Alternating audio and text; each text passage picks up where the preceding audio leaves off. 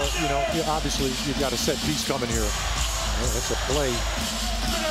You're hoping you get some points out of this. Oh, Giddey from the backside.